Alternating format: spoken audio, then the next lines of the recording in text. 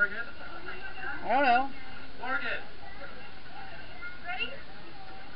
Last week that she wanted to take her jacket off.